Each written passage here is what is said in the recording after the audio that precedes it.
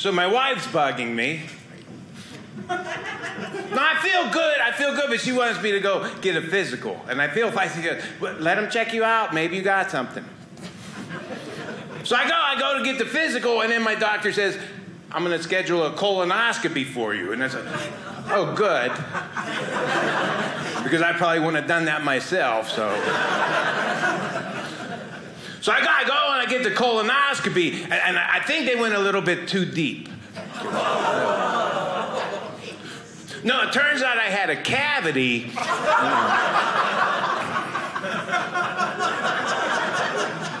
in one of my back molars, so so we found that and cleared it up.